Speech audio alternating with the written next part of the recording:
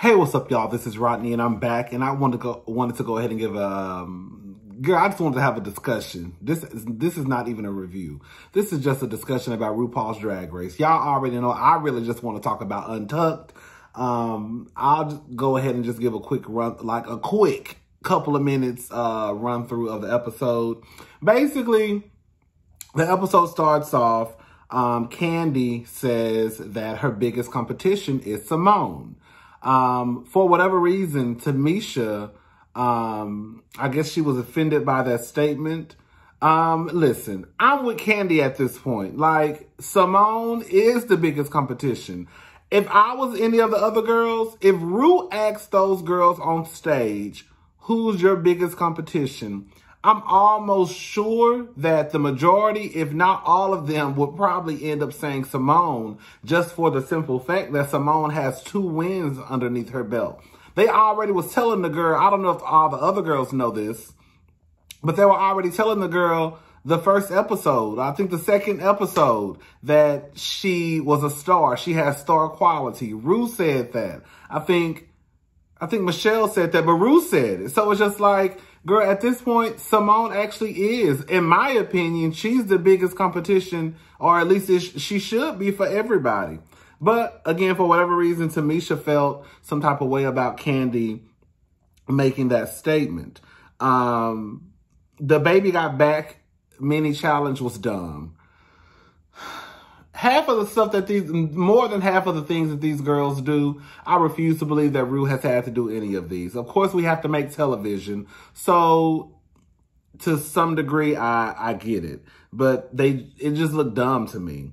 Um, the Tamisha, Tamisha, uh, Iman ball was cute. Utica, uh, let the girls know she had never seen a ball before. Um, Joey Jay. this is what I wanted to say about Joey Jay. And one of you guys um, left a comment um, about Joey Jay in one of the reviews. And remember I was talking about Joey Jay and that hairstyle?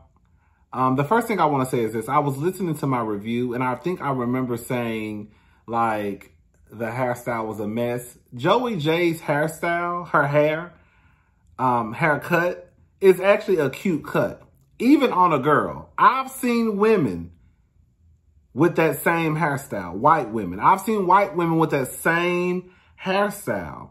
Not lesbians. Well, at least I didn't think they were, uh, well, of course some of them are lesbians. But I've seen, excuse me, I've seen fish, white fish, I've seen lipstick, li lipstick. I've seen girls. God, I don't know how to, even know how to say it. I've seen girls rock that same hairstyle. The thing with Joey Jay rocking that hairstyle four times in a row, even though I think the hairstyle is cute, Joey Jay isn't that great of a drag queen to continue to give the same hairstyle time after time after time. Like she got that, that same hairstyle four times in a row.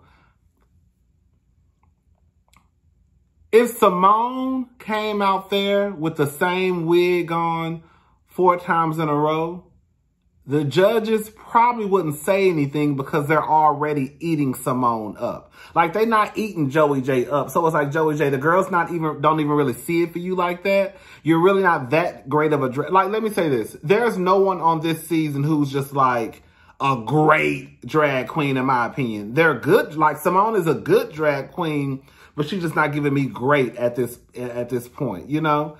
Um, and I'm talking about the whole package. But when I look at Joey Jay, Joey Jay, like, girl, you're not that, like, Joey Jay, you're not that great of a drag queen. You talking about your knee hurt, so you barely can dance. And then on top, then your fashions are a disaster. And then you're to come out here, on top of all of that, you're to have that same fucking hairstyle four times. At least with Symone, we can say, ooh, Symone is funny. Symone got personality. Bitch, I don't give a fuck about that bitch wearing the same wig four times because everything else with Symone, we can put a check by it. With Joey Jay, it's like the complete opposite. Wrong, wrong, wrong, wrong. And you got that same fucking hairstyle. With Symone, it's gonna be like, ooh, check mark, check mark, check mark, check mark. She got the same wig on, but girl, don't nobody care. Check mark, check mark, check mark. Anyways, um, Utica.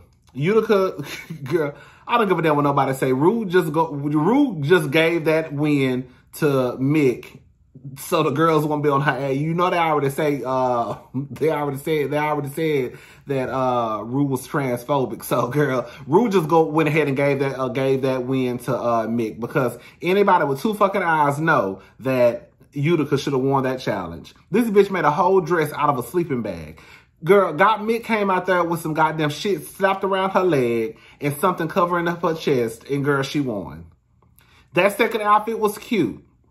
It reminded me of an outfit that uh, uh, Kourtney Kardashian had. Uh, this literally the same exact style. Um, it was a black tuxedo, this cutout. Utica stuff was cute. The first outfit was cute with the open body. The second outfit was cute. The third outfit was whatever. Utica, to me, her first outfit was cute. Second outfit was cute. Third outfit was cute. Utica should have won that challenge, but she went ahead and gave it to, um, what's her face? Uh, Gottmik. Um, the bottom two, of course, is Lala. girl, Lala literally came out there and glued some bags to a bodysuit.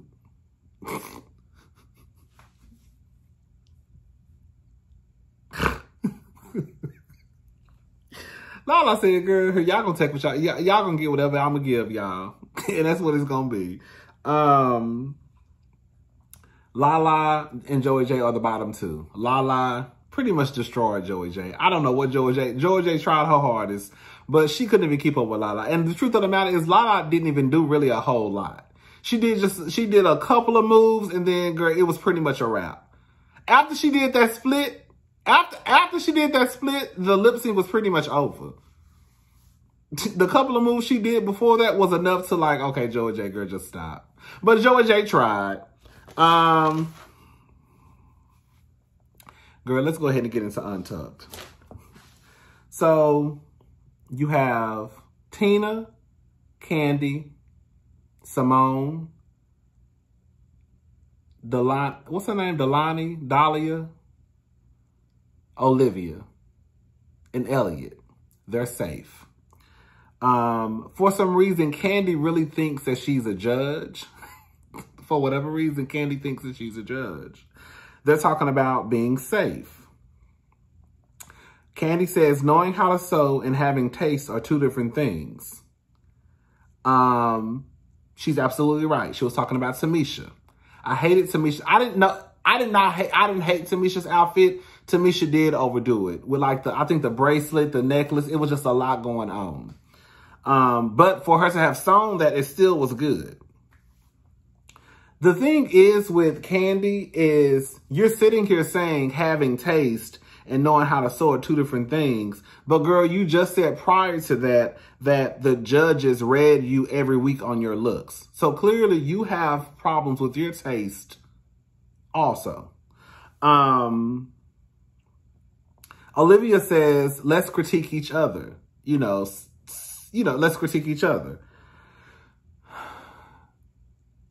Of course, Kandy decides to address Elliot with two T's. Now, anybody with two eyes and decent hearing, if you watch this show, you know that Kandy has been fucking with Elliot for a minute now. So, of course, she directs her critique to Elliot. You need to be more self-aware. You're trying to fit in. okay.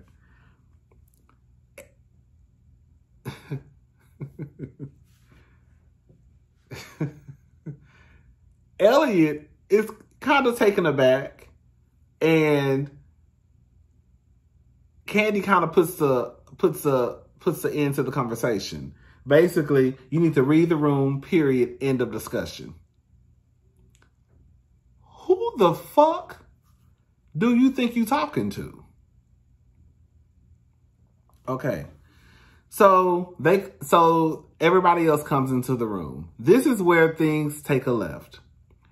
In my honest opinion,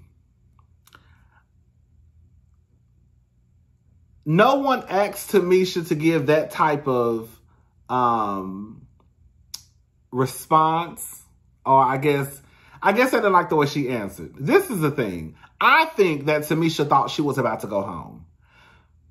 So I was, I'm thinking that Tamisha was thinking, bitch, I'm about to go home, so let me go ahead and just say what I need to say to these girls because I'm not going to see them again. So Tamisha went through the whole, y'all are great drag queens. I, uh, you know, Y'all are go, you know, y'all, y'all, y'all, y'all, y'all are good drag queens. Even though I don't like some of y'all hoes, y'all still good drag queens. I can respect what y'all do. And that's when she said it again. And that's when uh, Kandy said, well, girl, who are you talking to because you're looking at me? She was like, yeah, I'm talking to you. You one of them. now, mind you, Kandy is offended that to me that Tamisha called her arrogant, but she can't understand why Elliot was low key offended when she called her, tell, told her she need to be self aware. Now, yes, Olivia said let's go around the room and critique each other, but bitch, that wasn't Elliot's idea. So you can sit here and say all day, well, girl, I was doing it because the other girl said it. It don't matter, bitch. It doesn't matter. The same way, uh, the same way you can be offended by Tamisha calling you arrogant is uh, is the same way that Elliot could be offended by you saying that she's not self-aware. Now, I really didn't understand why Kandy got so upset because when you really go back and watch what Tamisha said, Tamisha did not bash bash her as a drag queen at all. She said she was pretty. She said she was a good drag queen. She just said, girl, you're arrogant. And for some reason, that's the part that stuck out to Kandy. And that's the part that she decided to grasp onto and like, just not let, it's like she grabbed, like a pit bull had just like got a hold to somebody and just wouldn't let go. Um, she says, I don't have a nasty attitude. I just say it how it is. And see, I, I was talking about something like this similar the other night on one of my reviews called Bell Collective. And I, I think people like Kandy, they think that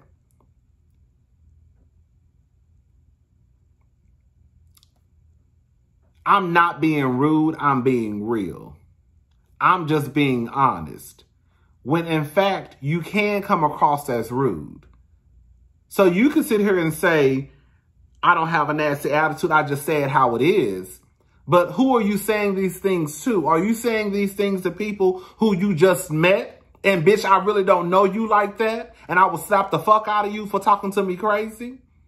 See, that's what Kandy gives me. Kandy is that girl. Kandy is that big girl who thinks that because she may be able to talk louder than somebody, that people should be scared of her. Girl, at the end of the day, if I was Tamisha, I would have body slammed that big bitch on the ground. I don't know who this big bitch thinks she's talking to.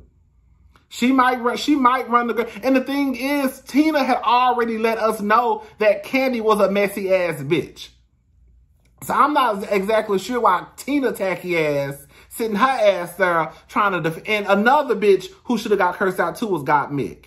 The only reason why I think Gottmik, that Tamisha didn't get into Gottmik ass because she was aware of the cameras and she knew that if she would have gotten into Gottmik's ass and Gottmik is a trans man, it could have went completely left. But Gottmik, you shut your ass up too. It's so crazy that Kandy got so much motherfucking mouth. Well, let's just call it for what the fuck it is. Bitch, your ass almost went home the first challenge. That's why your ass was in the back crying.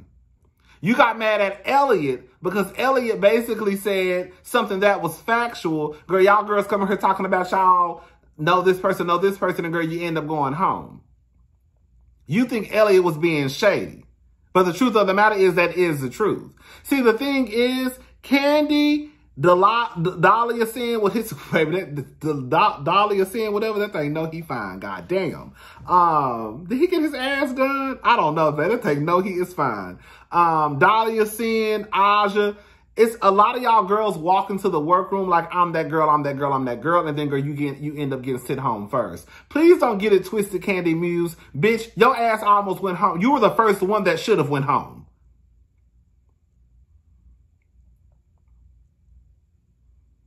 When you were back there crying in that workroom, bitch, you really thought you was about to get your walking papers.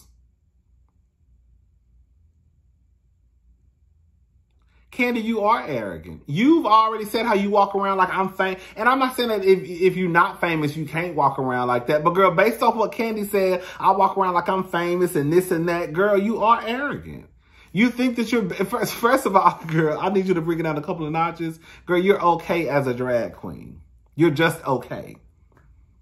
Girl, your very first time performing on the show, girl, you literally did a whole routine for Monét X Change. Girl, you're not that great. You probably could be great. But my first time even knowing who you were on screen, girl, your whole routine was a routine you got from Monét X Change.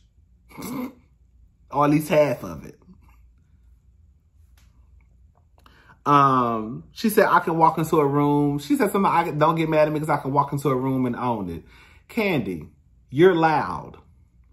You're loud. You can't speak. Your tongue is as thick as a 12 ounce New York strip. You have saliva stuck in your throat. Girl, no one is thinking about you. You're not this bona fide just star. There are people who have walked onto RuPaul's Drag Race like Symone. But I don't. I think you may be getting your. I think you think that the judge, the, when they told Symone that she was a star, girl, I think that landed in your girl. That she, they wasn't talking to you, Kandy Muse. They were talking to Symone. Symone actually has star quality. She does. That's why everybody goes up for Symone, boy chest and all. Um,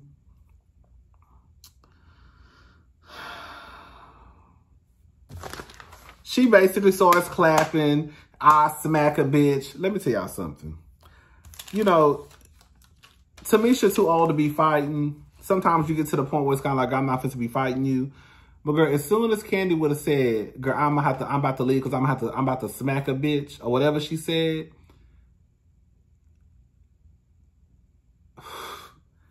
I wish Tamisha would have picked that big bitch up and body slammed her two times. I don't know who the fuck you think you talking to. Girl, this is not the Bronx. This is not those little white drag queens or whoever you be hanging around, Tina Burner, whatever drag show. And girl, the girls might be scared of you because you doing all this and clapping and I'm gonna slap a bitch. I'm gonna slap a bitch. Girl, you're not gonna slap shit. Cause when Tamisha walked up and got in your motherfucking face, that was your, time. it wasn't no, it wasn't nothing between you was space and opportunity, bitch. You could have knocked that hoe upside of her head then, but your ass didn't. Cause you knew better. Your ass walked up out that motherfucking uh, building and went outside. You, Tina you and the Peanut Gang. Tina, you shut your ass up. You, you were the first one telling us that Kandy was a messy ass bitch. Gottmik talking about you're antagonizing her, you're antagonizing her. Gottmik, you shut your ass the fuck up too.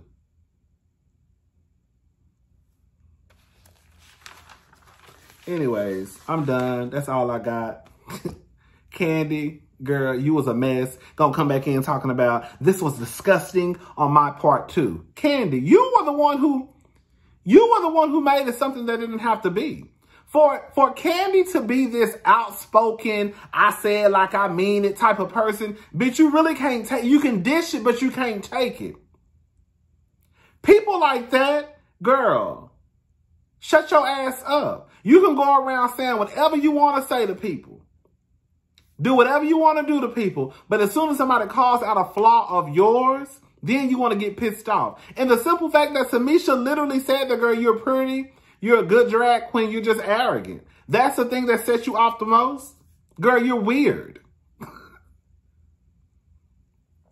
I could see if she said, girl, you're a mess of a drag queen. You're not cute. I could see how you could probably be like, bitch, what? I was with Tamisha on that one. I was with Tamisha. Elliot, I'm not Elliot. Kandy is low key a big bully. And when I mean big, literally big bully. Girl, you been fucking with Elliot. Oh, shit. No, keep trying. Oh, it's still recording. Okay. Uh, you've been fucking with Elliot this whole time. You should have been in the bottom. You should have been about in the bottom. Bitch, you shouldn't have even been out to make that statement, bitch, because your ass should have went home the week prior. Shut your ass up, Kandy Muse.